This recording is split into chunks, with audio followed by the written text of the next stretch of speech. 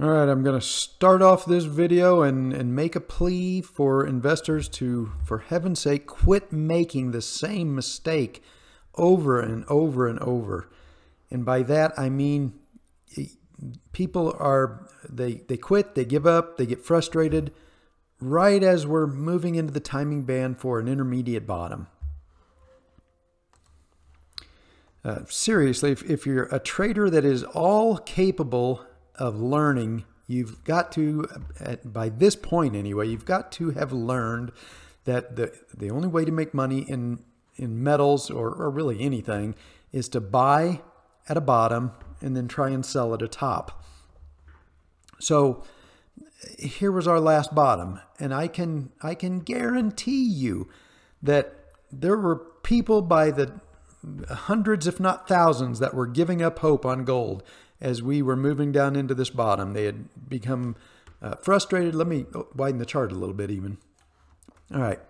So gold had been going down since August of 2020. So uh, basically for a year, it had been going down and then going sideways and, and people were just frustrated. They, uh, they'd given up on gold and I, I tried to convince these people to hang in there and that they needed to, you know, to buy when we had the bottom.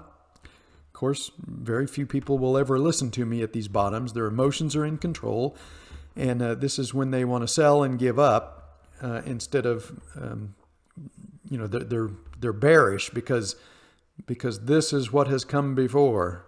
So they they know only disappointment, and so they won't listen to me. They won't buy the bottoms, and then. Um, you know, the, and then this is what happens. You get um, an intermediate rally that goes all the way up and, and retests the all-time highs. But I guarantee you 90% of the of the people that that you know wouldn't listen to me down here and wouldn't buy at these bottoms they they didn't buy or if they did buy they bought up here somewhere and then of course they get caught in the top and they end up riding down the intermediate decline, and then they just like they're doing right now, they're they're starting to give up in droves. They're they're frustrated, and if you take a step back and look at the big picture, you can see that there's you know there's nothing really wrong with this picture other than you know we're we're fighting against the cartel that's trying to keep gold suppressed but the cartel is not going to win this battle. They can win it temporarily but they're not going to win the long-term battle. They just aren't and so uh, what has happened? We've got a higher low. This low did not drop below this low. We've got a higher high. This intermediate um, top came at a higher level than this uh, intermediate top. And I am about 99% sure that when we get this intermediate bottom, it is going to hold above this intermediate bottom. This uh, intermediate cycle is right translated. Um, I'm about 99% sure we're in a in the final daily cycle of this intermediate decline. This is the cycle that left translate and left translates and fails, and by that I mean it tops uh, on the left side of center, and then it makes a lower low, and that that's what's happened here. Here was our daily cycle low. We had a, a rally of um, about 12 days, something like that, and, and then the, the cycle top. We come down, we break this low, so we're we're now making lower lows and lower highs.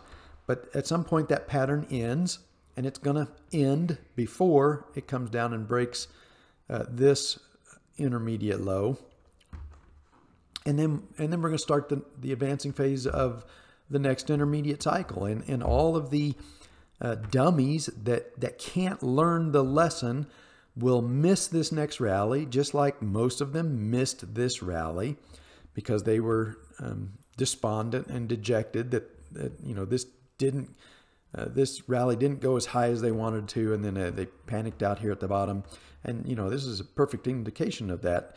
Uh, everybody's panicking out here, and then you run out of sellers, and what happens? You get a big reversal. Um, and then the same thing here. Uh, this just went down too far and too long, and everybody gave up hope. And uh, and then they end up selling and quitting and giving up at the bottom, and then they miss a nice rally.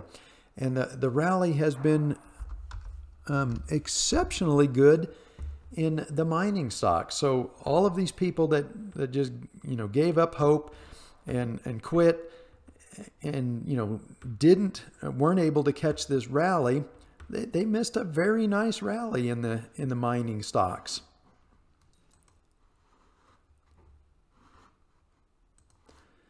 I mean, this this was a, about a 43% rally in uh, what two two and a half months. That that's a pretty significant move. So the the same thing's going to happen here. We're gonna we're gonna find our bottom here soon, and and we're gonna have another rally. But uh, you know the the the dumb people that can't learn their lesson are going to miss this rally, just like they missed this rally. So now let's let's look at gold here. Uh, and the reason they're going to do it is because the the bottom uh, the the market's not going to bottom quick enough for them. Uh, so um, you should be getting more and more bearish or bullish every day that goes by. We're closer to the the day that we get the final bottom here in gold. So um, you don't have to buy today. It's it's probably still too early, but we've completed one parameter here. We needed to break this uptrend line. And I kept telling people that that should happen, that gold really needs to break this trend line. It also probably needs to close below it. And it's probably going to have to close below it for, you know, multiple days. Uh, just, you know, marginally breaking it, that that's not the the signal that the bottom is in. I mean, it could be, uh, that, that could be the bottom, but you know, probably not. We probably got a little further to go. Sentiment is still it could be a little bit more bearish and the COTs could improve uh, a bit more. And then I think we would have um, uh, a better a better setup for uh, a, a, final bottom and, and more fuel for the rally. Um, so um, anyway, we've broken marginally broken this trend line. So I'm expecting we'll probably uh, get a you know at least a few more days and close down in here somewhere uh, before we get the final bottom. But but we're getting a, a, bit mature. This daily cycle is getting a bit mature, and, and so um, you know we've we've got a signal that we're waiting for that's going to tell us when it's time to start buying. But we're we're starting to check off um, the the requirements needed for that bottom to form, and this was one of them. Here was was a break uh, of the trend line. Now we want to see a close below the trend line uh, we've already turned the 10 week moving average back down. So we're just waiting for uh, the main signal that it's time to start buying again. And then when we buy, then we we should have another uh, two and a half to four month rally before the next intermediate cycle tops. And we've tested this all time high um, uh, twice now. So the the third test has pretty good odds of, of breaking out. So um, when this bottoms, I think this bottom is going to be the one that could give us the breakout. Uh, the problem with this rally was it just this was a really long intermediate cycle, and we tested this very late in this intermediate cycle, like you know 28, 29 weeks in. Odds of a of a sustained breakout that late in intermediate cycles kind of slim. So, you know, no, you know, it, it's no surprise that we, we weren't, gold wasn't able to break out on this run. Um, and then, you know, of course, the, the cartel came in here and, and made sure that uh, we came back down. But i will say it again, the cartel is not going to win this battle. Uh, or they're not going to win the war. They're, they're going to win some battles from time to time, and they're going to frustrate people, but they're not going to win this war. And uh, and I, I think the odds are pretty good that the uh, next intermediate rally, when it starts, uh, we're going to test this again. And if we can test it early in the intermediate cycle, not you know 28 weeks into the intermediate cycle, but if we can test it early in the intermediate cycle, then we can get a sustained breakout and a huge move. And and you know once gold is at 22 or 2300, then all of the you know the, the, people that just cannot learn their lesson uh, and should have been buying down here and getting bullish when I tell them that they need to start getting bullish. Then they'll look back and they'll say, "Yep, Gary was right again, just like he was right down here, and just like he was right down here."